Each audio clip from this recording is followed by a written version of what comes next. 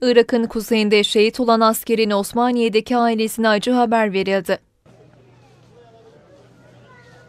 Irak'ın kuzeyindeki Pençe Kilit Operasyonu bölgesinde bölücü terör örgütü mensuplarınca açılan taciz ateş sonucu şehit olan piyade uzman çavuş Sinan İnan acı haberi Düziçi ilçesinde yaşayan ailesine verildi. Gümüşköy'ündeki eve giden askeri yetkililer acı haberi sağlık görevlileri eşliğinde aileye verdi. Şehidin ailesinin yaşadığı eve ve evin bulunduğu sokağa Türk bayrağı asıldı. Şehidin cenazesi yarın ikindi vakti düzenlenecek törenin ardından Gümüşköy'ünde toprağa verilecek.